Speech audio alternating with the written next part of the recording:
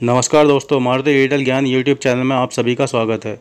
आज मैं आपको इस वीडियो में बता रहा हूँ कि हम अपने पीएफ यानी प्रोविडेंट फंड में कितना बैलेंस जमा है, जब से हम नौकरी कर रहे हैं, या जहाँ जहाँ से हमने नौकरी छोड़ी है, उन सबका मिला के कितना प्रोविडेंट फंड हमारे पीएफ अकाउंट में जमा हुआ है, को किस तरीके से जानेंगे और कितने प्रकार से हम चेक कर सकते हैं कि हमारे प्रोविडेंट फंड में कितना पैसा जमा है।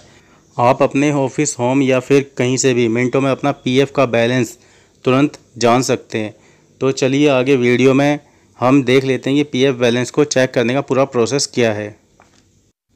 पीएफ का बैलेंस जानने का सबसे पहला तरीका जो मैं बता रहा हूँ इस वीडियो में वो है ऑनलाइन। तो इसके लिए सबसे पहले हमारे मोबाइल में, लैपटॉप में या डेस्कटॉप में गूगल वेब ब्राउज़र होना चाहिए।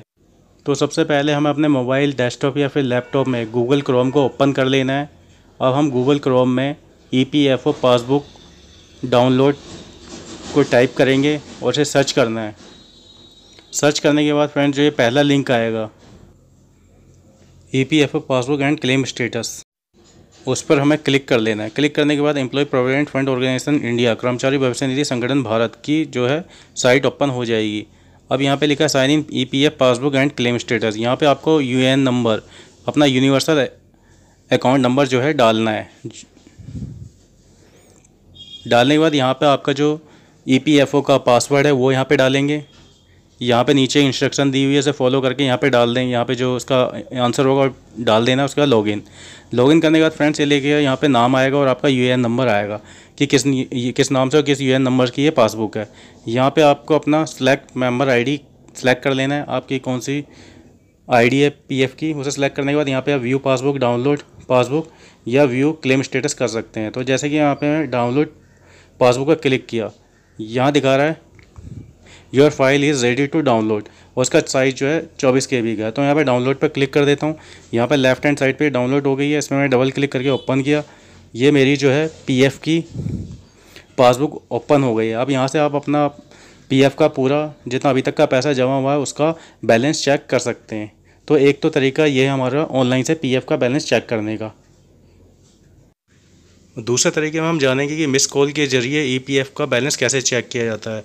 ईपीएफओ e द्वारा एक नंबर जारी किया गया है, जिससे हम मिस कॉल देकर अपना पीएफ का बैलेंस चेक कर सकते हैं। नंबर है zero double one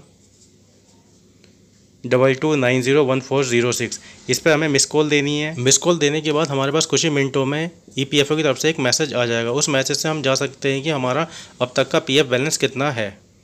जैसे कि आप वीडियो में देख रहे हैं। ये एक मैसेज, मैंने मिस कॉल दिया था इस नंबर पे उस कॉल से मेरे को एक मैसेज आया था तो जिससे मैं अपना पीएफ का बैलेंस जान सका।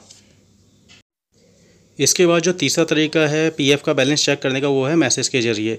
हमारे को एक नंबर पर, जो कि double seven three eight two nine nine eight double nine है, इस इस नंबर पर E P F O H O space U A N लिख कर मैसेज सेंड करना है। मगर इसमें एक बात ध्यान रखिएगा कि आपका जो रजिस्टर्ड मोबाइल नंबर है जो यूएन में रजिस्टर्ड है, उसी मोबाइल नंबर से आप मैसेज करिएगा।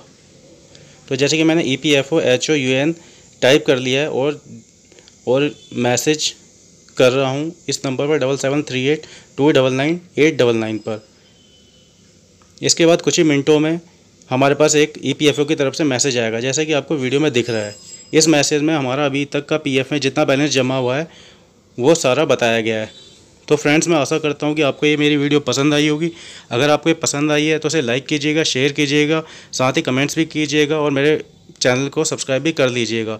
तो अब मैं मिलता हूँ आपको किसी नई वीडियो में किसी नई जानकारी के साथ। तब तक धन्यवाद, नमस्कार।